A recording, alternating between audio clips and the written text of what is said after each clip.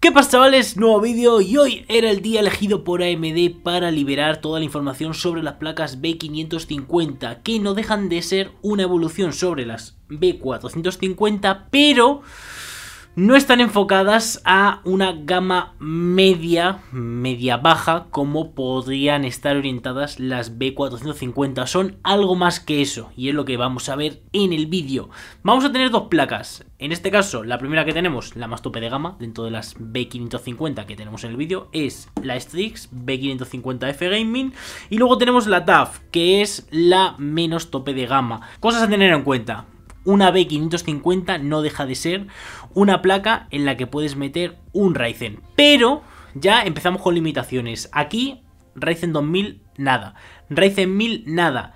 Ni siquiera APU, ni tampoco un Aldon, nada. Solamente te van los Ryzen 3000 o Ryzen 4000 cuando salgan. Si no tienes uno de esos procesadores, no te va a valer. Por lo que con ese movimiento ya podemos esperar que estas placas quitan todo lo que hay en la gama media. ¿Por qué? Porque si una persona se quiere comprar un 1600 AF, no puedes usarlo en esta placa. Así que las B450 que hay ahora mismo, pues siguen siendo una opción a tener en cuenta. O las X470, o incluso una X570, te vale.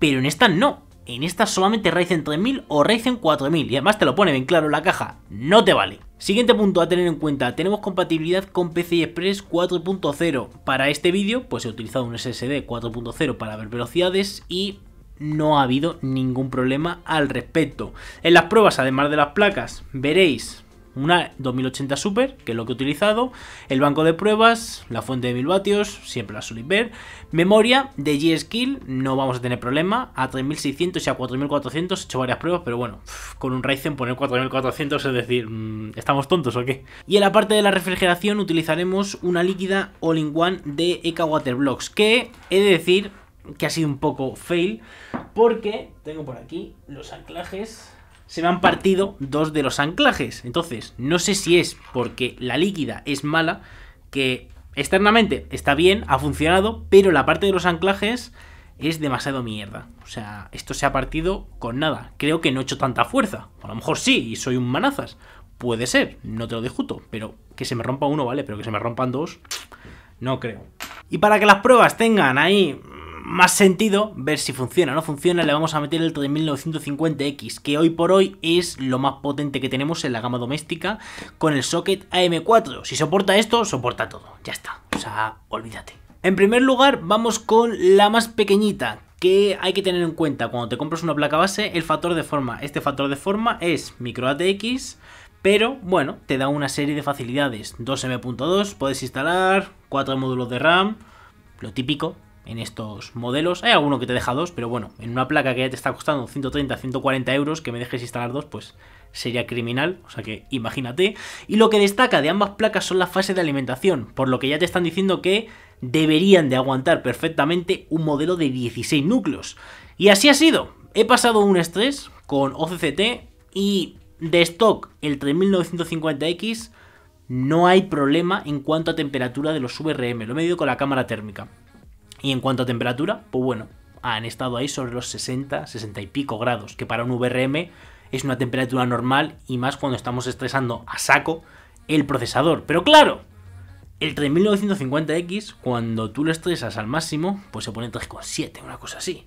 Entonces he dicho, vale, esto está muy bien, en temperaturas también, porque realmente un Ryzen a 3,8, 3,7, pues no es nada, es un mecherito. Eso no, no consume nada. Vamos a meterle más caña.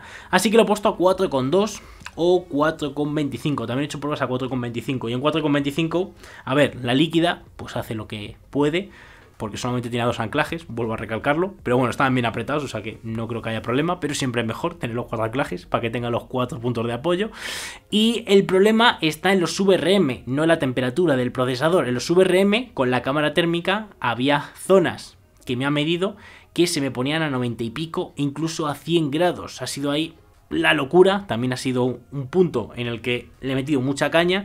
O sea que esta placa base, podríamos decir que te vale, te vale de stock, de stock te podría valer, pero si quieres hacer un overclock ya muy bestia, en plan, yo qué sé, pues te vuelves aquí todo loco y lo quieres poner a 4,2 o 4,3 y le vas a meter caña, es decir, no voy a jugar solamente para jugar, pues no debería de pasar nada. Pero aún así, mm, le quieres meter mucha caña, que vuelvo a repetir, no lo veo necesario, porque yo tengo el 3950X y lo tengo con Underball, o sea que imagínate, es una tontería subirlo más. Pero si quisieras hacer eso, pues esta placa no sería la recomendable, pero te la aguanta de stock. O sea que si lo vas a dejar de stock o le vas a hacer underball, te valdría. Por lo que estamos ante una evolución de las B450 y no te tienes que dejar el dinero de las X570. ¿Pruebas en juegos? Pues es tontería. O sea, a la hora de elegir una placa base es que todas las placas base te deberían de dar lo mismo. En juegos, o prácticamente lo mismo, el 99,5%. Latencias, también. Si haces latencias, es que da igual. O sea, te voy a repetir las pruebas en las tres y te vas a tener lo mismo. En las tres, lo más importante es la VRM, las conexiones y el factor de forma y el precio. Claro está. Si pasamos a la otra placa, ¿qué tenemos? Pues ya tenemos más caña. Aquí le han metido chicha. Y tenemos 14 fases. O sea, ha sido la locura. He dicho, coño, se supone que esto es gama media. Pues esto es la gama media súper vitaminada. Pero claro, ya te está yendo una placa que creo que estaba en torno a los 190, 200 euros según los precios que me han pasado. Y evidentemente, eso no es una placa de gama media, porque se gasta 700, 800 en un ordenador pues no se gasta tanto en la placa, no hace falta, con una placa de 90, 100 euros ya está bien para el procesador que le vas a meter, pero aquí, si volvemos a repetir las pruebas de stock, pues se la pela a los VRM, no se va a calentar. Si le metes caña y lo pones con el overclock, como hemos hecho antes, ya se calienta más, pero aguanta el todote y no pasa lo que pasaba en el otro modelo. Por lo que podemos decir que para una persona, vuelvo a repetir, que se quiera comprar el procesador, pues no necesita gastarse tanto dinero. Es una buena opción. También una cosa que me he fijado es que ahora como estándar ya no tenemos el puerto de 1 gigabit por segundo, tenemos el puerto de 2,5 gigabit por segundo, algo que están copiando todos los fabricantes y que ya va a ser la norma. Porque ya las conexiones de 1 gigabit por segundo, aunque no todos tenemos conexiones de 1 gigabit por segundo en casa, lo sé, pero no importa que tú no tengas una velocidad de internet contratada de un gigabit por segundo, porque en red local puedes necesitar una conexión mayor.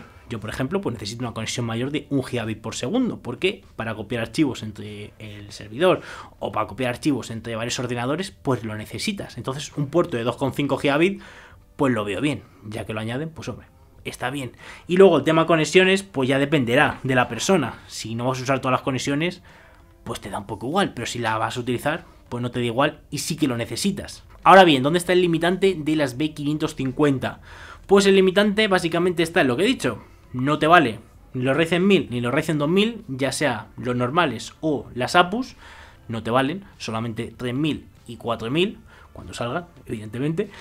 Y las X570 sí tienen esta compatibilidad, pero también es algo que dices, vale, el que se vaya a comprar una X570, yo creo que no se compra un Ryzen, por ejemplo, un 2700X. Para eso te compras una X470. Y si en un futuro quieres actualizar, pues vas a poder actualizar.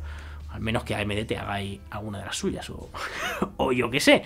También tienes que tener en cuenta que la conexión que hay con el chipset es PCI Express 3, no PCI Express 4, es decir, que es la mitad de lenta. ¿Eso se nota? Pues en pruebas reales yo no lo he notado, sinceramente. A la hora de sacar más conexiones, pues sí que lo notarás. Por eso veis que tanto esta como la otra, en la parte del chipset no hay un ventilador, porque no lo necesitan, no se calienta, como para que haya un ventilador. Entonces, como conclusión de si valen o no valen, yo solamente te recomendaría que te compraras una placa de estas si quieres poner algo potente, por ejemplo, un 3900 o un 3700X y vas a hacer ahí cosas, o el 3950X, te compras una placa, algo tipo esto, y no te tienes que gastar el dinero que te vale una X570. Solamente en ese caso merece la pena, pero... A ver, yo esto no lo podría considerar como una gama media, aunque AMD te lo plantea así. Pero es que si habéis visto el listado de placas, es que es acojonante. Hay placas de estas que te valen 300 euros y tiene el chipset B550. Entonces te quedas diciendo, Hostia, es que se supone que es un chipset de gama media. ¿Cómo me estás cobrando 300 euros por una placa B550? Porque claro, lo ves y dices, sí, a lo mejor en comparación contra la que es similar en X570, pues la X570 te vale, yo que sé, 450 euros. Pues esta te la sacamos a 300 y te la recortan un poco. Pues depende del modelo. Ya los de 300 euros no los miraría. Pero los de 180, 200, en vez de coger una X570 que te valga 300, pues ahí sí que me lo podía plantear. Entonces ahora solamente queda ver cuando saquen las placas a 520 cómo serán. Así que nada, poca cosa más. No hay mejor vídeo que uno en el que estresas al máximo la placa para ver si rinde o no rinde. Porque al final las especificaciones están muy bien sobre el papel, pero lo que importa es la práctica. Si os ha gustado el vídeo me encantaría que lo valorarais positivamente, like a tope, como siempre, dar las gracias a Asus por las placas para hacer el vídeo, veremos qué cosillas hay en próximos. Si os ha gustado me encantaría que lo valorarais positivamente y nos vemos en el próximo vídeo. Un saludo.